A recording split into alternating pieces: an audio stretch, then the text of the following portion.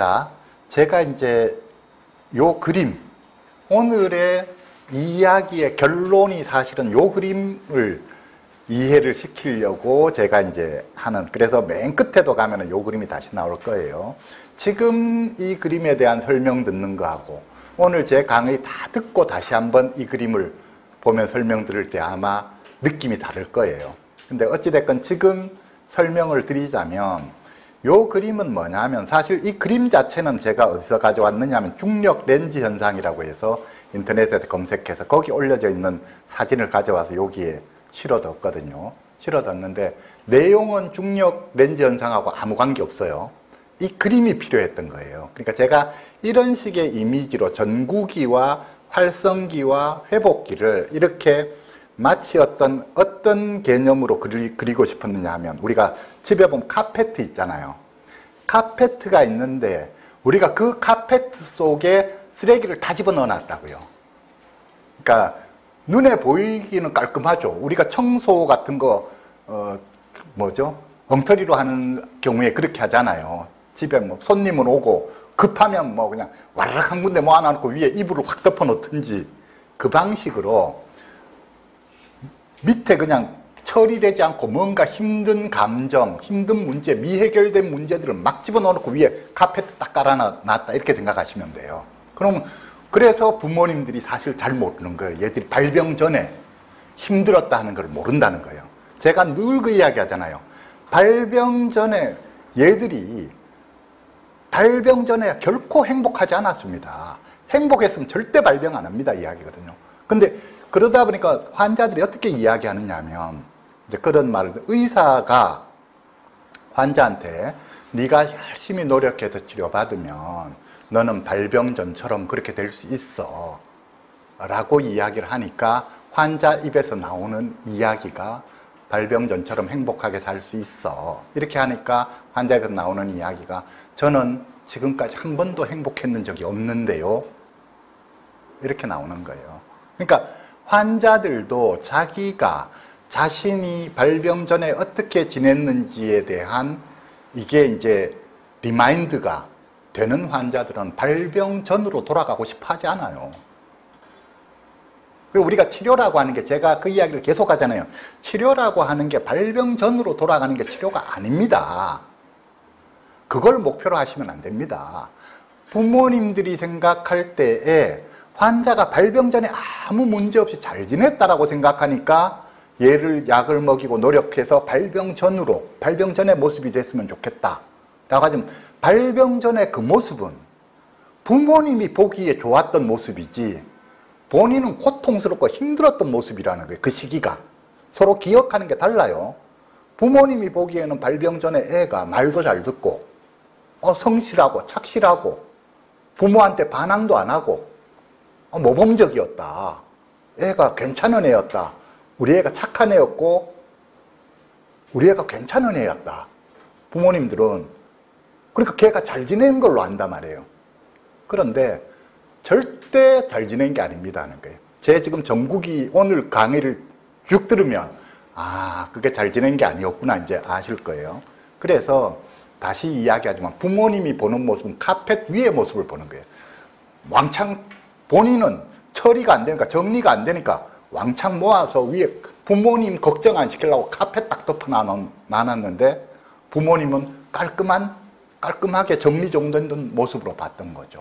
그런데 그러니까 이렇게 생각을 해요. 제가 지금 카펫에 비유했는데 오만 잡동사니를 밑에 집어넣고 위에 카펫 딱 덮어 놔놓고 그 위에 자기가 앉아 있다고 생각해 보세요. 그 삶이 얼마나 편하겠, 불편하겠느냐는 거예요. 그 위에 앉아 있고 누워서 잘 때 그 위에 누워 잔다. 온갖 등이 다 배기고 하겠죠. 그런데 이렇게 해놨는데 이거 가지고 문제 해결이 안 되니까 계속 괴롭단 말이에요.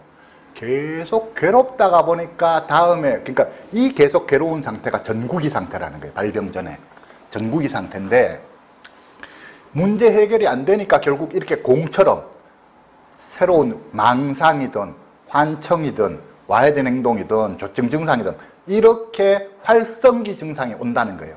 활성기 증상이 오면 이 활성기 증상이 해주는 한 가지 역할이 뭐냐 하면 당사자로서도 활성기 증상이 오면 전국이 때 그렇게 힘들었던 문제가 일시적으로 거기에서 벗어나죠. 그러니까 뭐냐면 증상이라고 하는 것이 어떤 면에서는 하나의 해결책인 거예요. 자신이 고통에서 벗어나는 하나의 해결책. 덜 고통스럽게 만들어주는 것. 가장 대표적인 게 그거잖아요. 우리 망상. 망상 왜 생기느냐. 망상을 함으로써 자기는 덜 괴롭다 말이에요. 망상이라고 하는 게 가장 대표는 망상은 부모님이 볼 때, 우리가 볼 때는 망상은 깜짝 놀랄 일이고 저렇게 하면 안 되고 본인이 얼마나 힘들겠나 하겠지만 본인으로서는 차라리 내가 왕따야. 내가 나는 사회에 잘 적응 못하고 있어. 나는 애들하고 잘 못 어울려. 이러 이렇게 하는 것보다는 애들이 나를 괴롭히려고 세상 온 세상 사람들이 나를 괴롭히려고 저것끼리 짜고서 작당을 했다 하는 게 내가 훨씬 마음이 편하다는 거예요. 덜 괴롭다는 거예요. 그런 망상을 가지고 있는 게.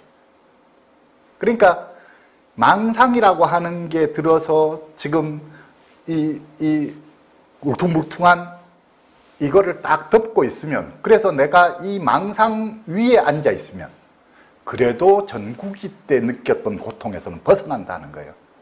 이제는 이런 원리가 있다는 거예요. 자, 그런데 지금 이제 이렇게 카펫 덮어 놔놓은 것 같은 게 전국이라고 한다면 이렇게 그 위에 공 같은 게 커다란 이런 뭐가 덮여져 있으면 갑자기 이렇게 만약에 집에 거실에 이런 상황이 됐다면 부모님들이 보실 때는 이, 이거 치워야 된다고 생각할 거잖아요. 이 공 치워내야 된다. 이거 왜 불편해서 저기 어떻게 앉아 있겠나, 누워 있겠나. 전문가도 그러니까 이것만 본단 말이에요. 그러다가 보니까 제 하는 이야기가 활성기 증상이 나타나면 온통 활성기 증상에 관심이 간다는 게 부모님도 그렇고 전문가도 그렇고 그 이 활성기 증상만 없애면 된다라고 생각한다는 거예요. 자, 보세요. 활, 어떤 가정을 가지고 있냐면 활성기 증상이 생기기 전에는 얘가 별 문제 없었다. 잘 지내던 애였다. 그런데 갑자기 망상이든 환청이든 와해된 언어, 와해된 행동, 조증 증상 아무튼 활성기 증상이 생겼으니 이게 문제니까 이 증상만 약을 먹여 없애든지 뭐 하든지 이 증상만 없애면 얘는 다시 편안해질 거다. 이렇게 되는 거거든요. 그, 이, 이 증상 없앤다고 드러낸다고 편안해지느냐. 안 편하다는 거예요. 그게 회복기라는 거예요. 이거 드러내면, 드러내면 다시 미해결된 문제 다시 올라오죠. 이, 이공 밑에, 무거운 공 밑에 눌려 있던 이 울퉁불퉁한 것들이 다시 올라오겠죠. 다시 올라오니까 그러니까 문제 어떤 현상이 일어나느냐면 애들이 지난 이야기를 자꾸 반복적으로 한단 말이에요. 학교 다닐 때 내가 이랬을 때 저랬을 때 애들이 내를 이래 괴롭혔다 힘들었다. 또 엄마가 그때 왜 나한테 그거 안 해줬나. 캐캐 묵은 이야기를 10년도 된 이야기를 캐캐 묵은 계속 반복적으로 꺼내거든요. 그럼 엄마들은 부모 입장에 질리잖아요. 그건 뭐 그렇게 우리 입장에 생각할 때 그게 뭐 그렇게 대수로운 일이냐. 응? 해줄 수도 있고 안 해줄 수도 있는 거지. 거기에다가 그, 그 이야기 한두 번 했나.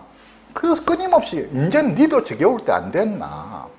나도 내가 니한테 그 일에 대해서 미안하다고 사과를 몇 번이나 했나. 그런데도 또 이야기 꺼내나. 이렇게 되는 거죠. 부모들 입장에서는. 그런데 원리를 알고 나면 안 그렇다는 게 그게 미해결되었기 때문에 해결되었으면 두 번 다시 말 안 꺼내죠. 지가 기억도 안 나요. 옛날에 당했던 억울한 일이 자꾸 반복해서 기억이 나고 그것 때문에 그 일이 떠오르면 화가 벌컥벌컥 나고 슬프고 그 이유가 해결이 안 됐으니까 우리가 소화가 안 되고 있다는 거예요. 안에서 음식 먹었는데 음식이 소화가 안 되고 계속 그것 때문에 불편하다는 거예요. 그러니까 소화를 시켜내려고 끊임없이 말을 또 꺼내는 거라고요. 그게 미해결 과제라는 거예요. 전국이 때 있었던 문제가 회복기 때도 여전히 해결되지 않고 있습니다. 그게 미해결 과제예요. 그래서 그 말을 다시 꺼낼 수밖에 없는 거예요. 그러니까 제가 이 무거운 공에 눌려 있던 게 무거운 공, 활성기 증상만 없앤다고 끝나는 게 아닙니다 하는 거예요. 그래서 그런 거예요. 그 했던 이야기지만 그냥 정리하는 차원에서 읽고만 볼게요. 가족과 전문가는 활성기 증상이 두드러져 보이기 때문에 전구기의 스트레스 상황 및 전구기 증상의 중요성을 간과하는 경향이 있습니다.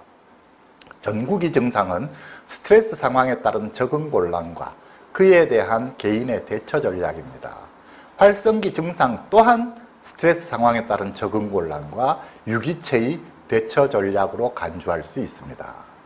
전국이의 문제는 회복기에도 미해결 과제로 남아 있습니다. 당사자로서는 활성기 증상의 완화보다 미해결 과제의 해결이 더욱 절실한 문제일 수 있습니다. 그러니까 가족이나 전문가가 바라보는 시각과 당사자의 시각이 다를 수 있습니다 하는 거예요. 가족이나 전문가는 환청이 문제가 되고 망상이 문제가 되고 와해된 언어가 문제가 되고 와해된 행동이 문제고 음성 증상이 문제가 될지 모르지만 그건 가족이나 전문가들 입장이고 환자 입장에서 뭐가 제일 괴로우냐 했을 때 오히려 그것보다 전국이에 미해결된 이 문제들이 본인 손 제일 힘든 문제일 수 있습니다 하는 거예요. 그 가족들이 그 이야기 골백 번도 더 한다. 골백 번도 더 하는 그게 자기한테 제일 중요한 문제이기 때문에 골백 번도 더 하는 거예요. 그렇게 생각을 하셔야 됩니다는 것이죠. 자, 그래서 여기까지 이야기하고 10분 쉬었다 가도록 하겠습니다.